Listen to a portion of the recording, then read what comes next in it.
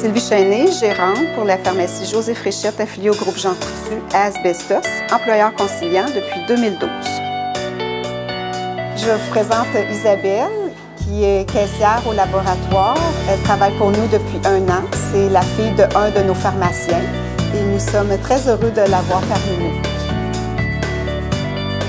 Être un bon employeur conciliant, leur donner un nombre d'heures euh, raisonnable pour qu'ils puissent étudier et travailler, ça permet une rétention aussi. On les garde, nos étudiants, parce qu'on les traite bien.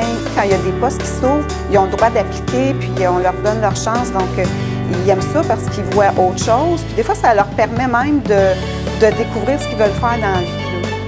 Une jeune fille qui ne sait pas qu'est-ce qu'elle veut faire dans la vie, elle s'en vient travailler ici durant son secondaire. Elle postule sur un poste de caissière au laboratoire, puis elle découvre que, oups, la santé, ça l'intéresse.